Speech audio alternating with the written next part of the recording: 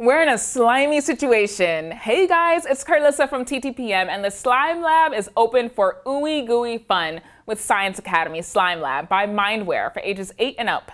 This 23-piece Slime Lab kit comes with all the tools needed like safety goggles, gloves, lab station, food coloring, beakers, pipettes, and more to make basic slime and execute seven additional slime activities like ghostly eyeballs, fake fish eggs, and green jelly worms.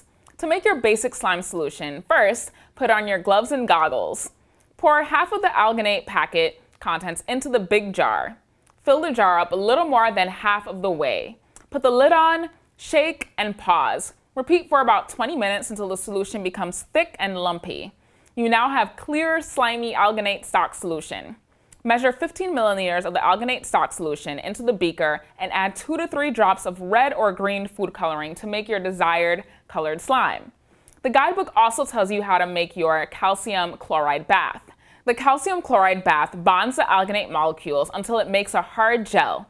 You will be able to use the bath to make various slimy, gooey shapes. This kit teaches kids about polymerization and the chemical bonds and properties of slime and gel. This is great for kids who love hands-on creative science experiment. The guidebook includes all necessary safety, cleanup, and storing information, and so we recommend you read the guide carefully. For more on these products, including current pricing and where to buy, find us at TTPM or subscribe to our YouTube channels for more great toy reviews every day.